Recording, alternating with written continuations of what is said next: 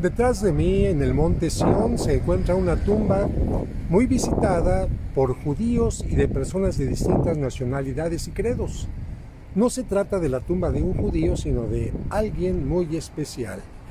Los invito a que la visitemos el día de hoy y mientras tanto, mientras vemos algunas imágenes, les cuento de quién se trata. La puerta del cementerio que baja por esta parte del Monte Sion tiene una leyenda que dice la tumba de Oscar Schindler. Vamos a ingresar y nos damos cuenta que se trata de un cementerio católico. No solamente hay cementerios judíos o musulmanes, sino también cementerios católicos en esta parte de el monte Sion y vemos que no hay gran diferencia entre las tumbas porque si bien al fondo por ejemplo vemos que hay algunas especies de criptas donde se no se entierran sino se ponen los cuerpos sobre tierra dentro de bóvedas.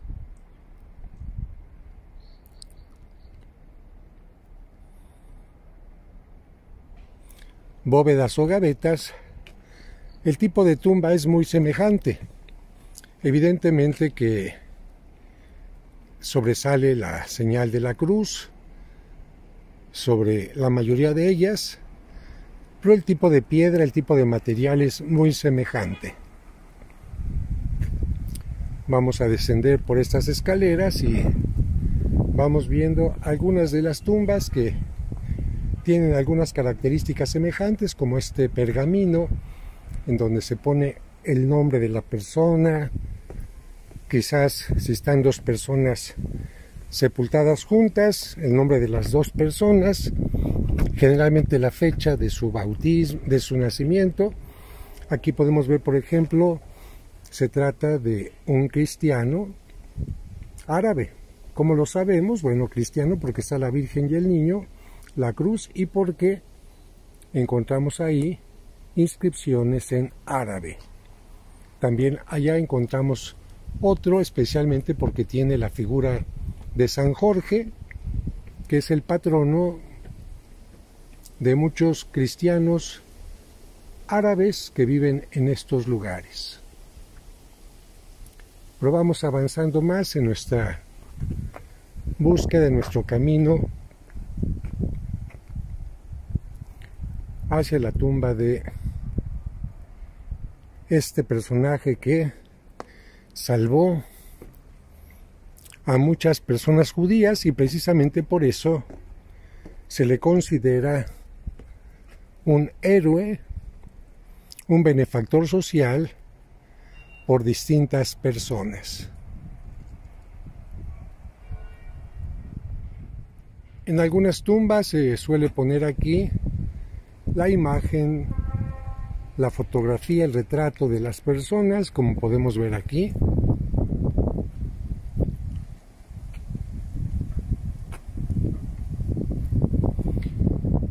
Y el cementerio tiene distintas terrazas, distintas áreas en donde se pueden sepultar los restos.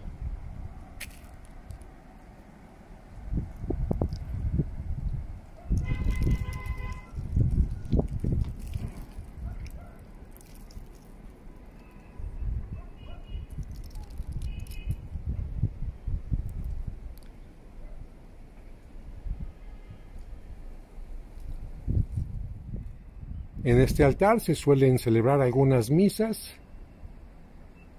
y por estas escaleras se puede descender a la terraza inferior.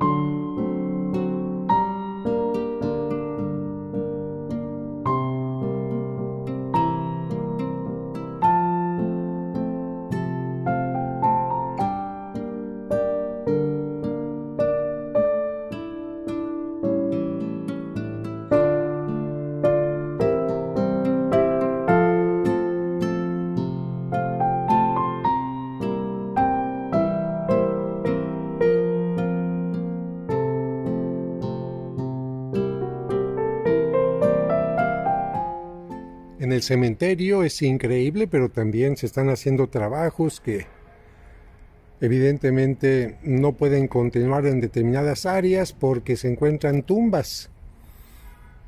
Pero al parecer estos trabajos tienen suma importancia porque de acuerdo a lo que vemos, pues se trata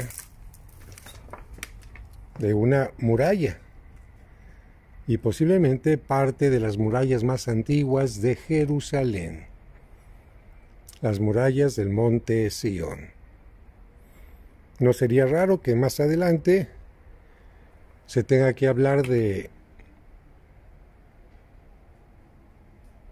que se han tenido que sacar algunos restos de estas tumbas y ser trasladados a otros lugares para que continúen los trabajos, porque esta muralla como ven, tendría que continuar precisamente hacia esa parte.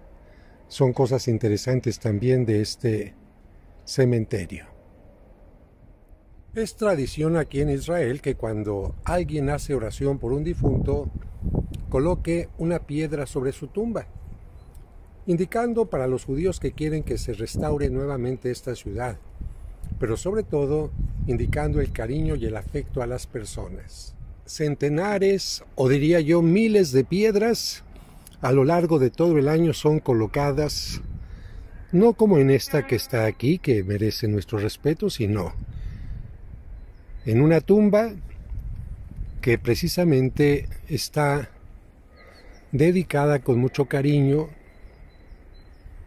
a Oscar Schindler, que vivió de 1908 a 1974 y cada, una de estas piedras significan el agradecimiento por haber salvado a vidas que estaban en peligro de muerte.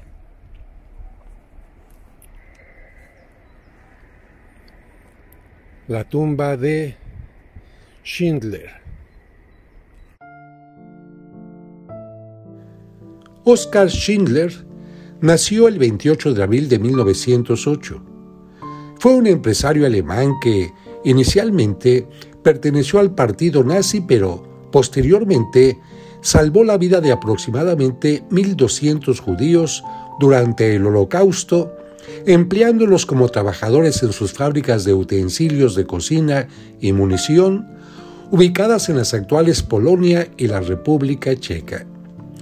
Su historia se cuenta en la novela El arca de Schindler, publicada en 1982, y en la película de Spielberg basada en ella, La lista de Schindler de 1993, que lo reflejan como un oportunista que, en principio, solo buscaba sacar beneficios, pero, posteriormente, se convirtió en una persona de gran iniciativa, tenacidad y dedicación logrando salvar la vida de sus empleados.